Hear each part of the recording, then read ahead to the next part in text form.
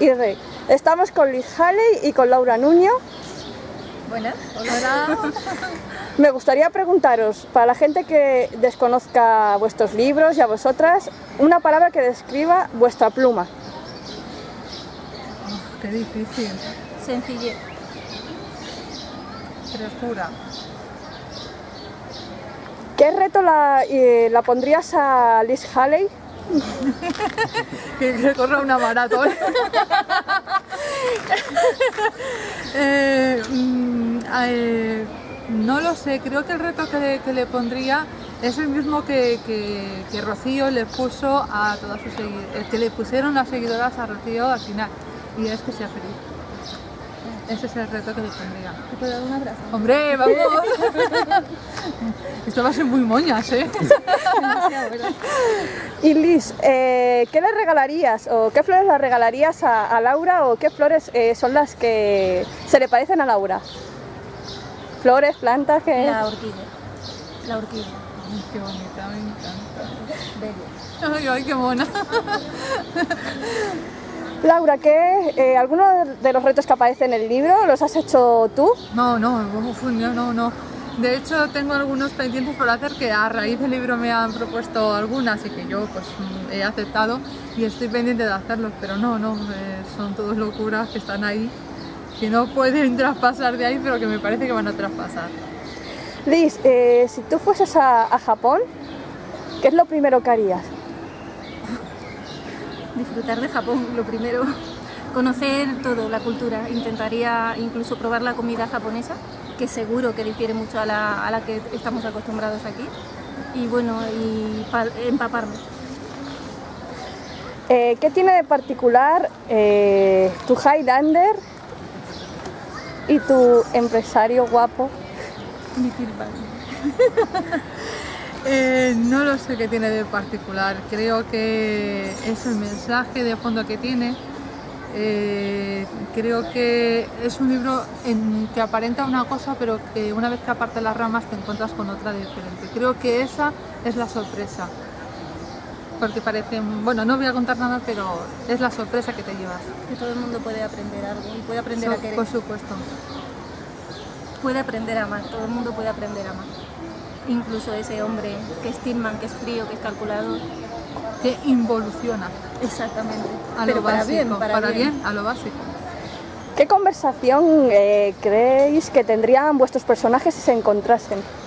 ¿En la vida real o en otra novela? ¿Femeninos o masculino? Los masculinos. Los masculinos.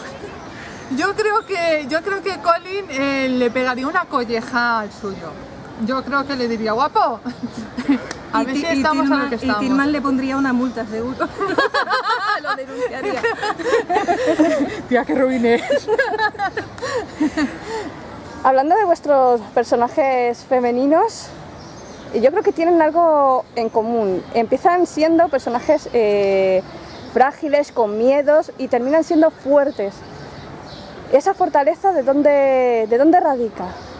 Yo creo que ya estaba, pero estaba subyugada por el miedo. Y una vez que lo han, que se han librado de ellos, ha salido lo que realmente es la esencia, de lo que realmente son ellas.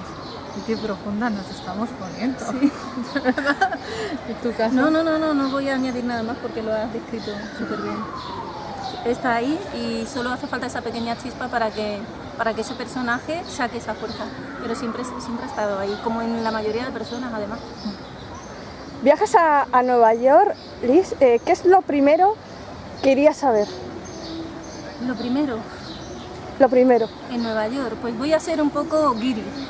Iría a ver la Estatua de la Libertad, evidentemente, eh, mm, simplemente por ver ¿no? la dimensión, sobre todo, la- aquella estatua tan grande. Pero vamos, es una cosa que muy, ya te digo, muy de guiri, pero bueno. ¿Y tu anhelo? Tu anhelo de eso que digas, no es de guiri, pero es que me gustaría ir a un restaurante y tomarme algo o hacer una locura. Hacer una locura ¿Qué locura te gustaría hacer en Nueva York? en Nueva York, oye. Hombre, subir a uno de los taxis amarillos ya es una locura. de yo creo que sí. Pero sí, me, me haría ganas la línea amarilla de taxi y demás, vivirlo, decir, venga, o sigue a ese coche, por ejemplo, algo así. Tú en las Highlands, si te sueltan por ahí, Lo primero que haría sería ir a Inverness.